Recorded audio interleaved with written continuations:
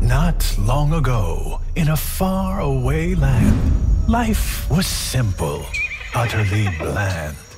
Day in, day out, thus life flowed in a hopeless attempt to reap what one sowed. There was no time for anything else. No love, no romance, no sense of self.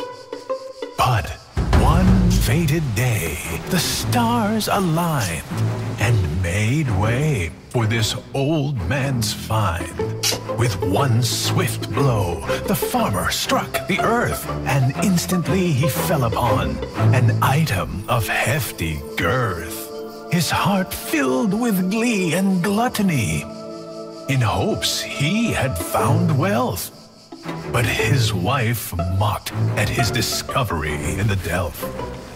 He ignored her jabs and mockery and searched for the village authority, whose wisdom he hoped would discern precisely what his find might earn. After many hours of speculation, the forecaster came to conclude that the old man's find was not a treasure, but a device of time interlude.